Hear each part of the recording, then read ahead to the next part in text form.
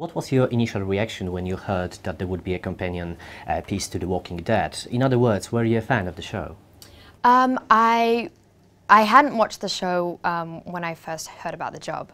Uh, when I looked at the pilot, I was surprised, honestly, at how amazing it was because it's not usually a genre that I was initially attracted to or um, uh, really even aware of, I guess.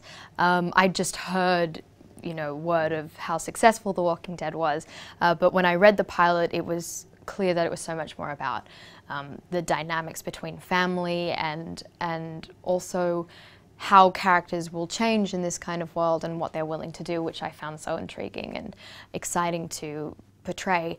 Um, but then when I did find out about the gig, I watched The Walking Dead and binge watched about four seasons in two weeks. so I definitely became a bit of a fan after that. So how did you exactly got involved, get involved into uh, Fear the Walking Dead? What's the story behind it? Um, well, I heard about it from my representatives and they sent me an audition. Um, I actually was previously working on a pilot for AMC um, a little bit before that uh, and it, it didn't work out. And so when I heard about this, I was like, oh, maybe like I can go in and, and you know, it, I went into the audition and I knew quite a few of the faces and it, I think if anything else, it just kind of relaxed me a little bit. Suddenly they weren't blank faces, they were you know, people that I'd just seen before, not that I had you know, much interaction with them, but it, it became less about um, the uncomfortable quality of an audition room or, uh, you know, being put on the spot and it became so much more just about the content and and having fun and enjoying the audition. So I think that really helped essentially. Um, but yeah, then I went for the audition and then you go through the typical procedure of then, you know, a callback and then chemistry reads and then a test and and it's very long drawn out and and um,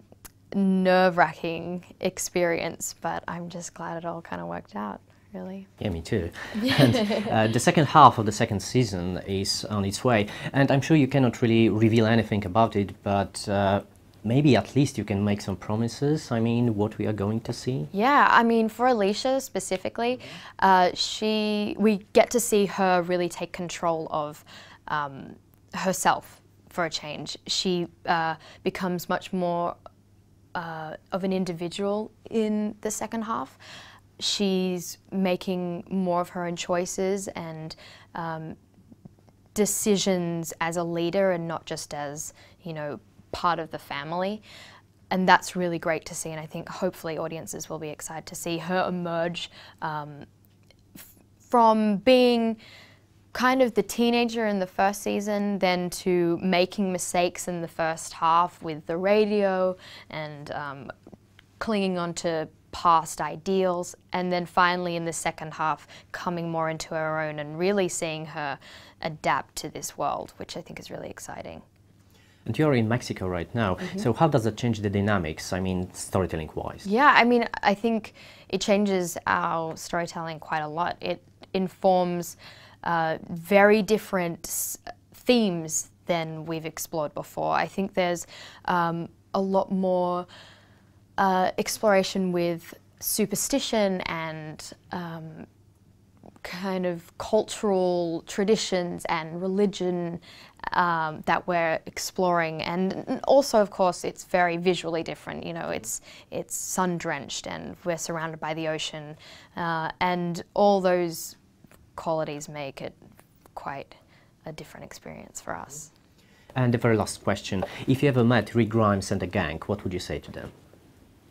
protect me. I don't know. Um, I'd be scared of them, I think. I mean, as my character, I think that is a very intimidating group to come across. They've very well adapted for this new world, and I think our characters are only just seeing the beginnings of it. Yeah.